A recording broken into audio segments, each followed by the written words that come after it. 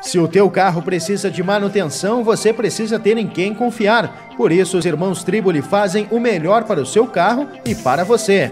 Oficina mecânica especializada e agora também com autopeças. Irmãos Triboli, Avenida Cis Brasil 2130. Se precisar, ligue 3672 1468.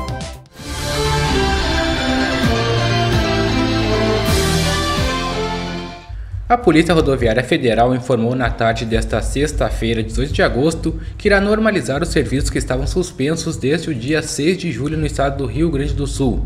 Conforme a Polícia Rodoviária Federal, serão retomadas as atividades de deslocamento terrestre para policiamento ostensivo das rodovias, escolta de cargas superdimensionadas, operações especiais, fiscalização de trânsito e fiscalização por radar. O motivo da retomada dos serviços foi uma contribuição liberada nacionalmente pelo Ministério Público, no valor de 74 milhões de reais.